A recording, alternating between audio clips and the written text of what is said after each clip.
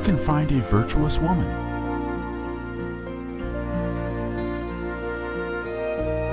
For her price is far above rubies. She will do him good and not evil all the days of her life. She openeth her mouth with wisdom, and in her tongue is the law of kindness. She riseth also while it is yet night, and giveth meat to her household, and a portion to her maidens. She considereth the field, and buyeth it. With the fruit of her hands she planteth a vineyard.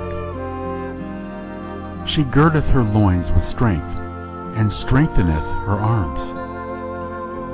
She stretcheth out her hand to the poor, Yea, she reacheth forth her hands to the needy. She maketh herself coverings of tapestry. Her clothing is silk and purple.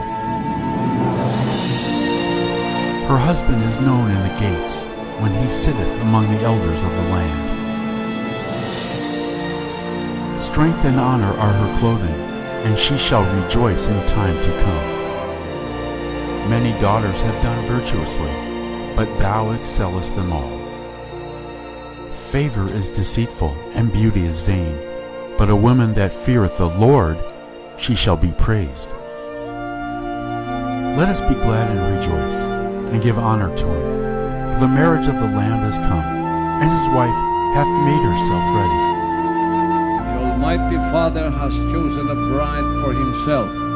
Sincerity, purity, gentleness, meekness, faith. It's all the characteristics of our mother today, who is the most beautiful woman spirit. The spirit that says, Not my will, but your will be done. This marriage is not physical, it is spiritual. Rejoice ye with Jerusalem, and be glad with her, all ye that love her. Rejoice for joy with her, and be delighted with the abundance of her glory.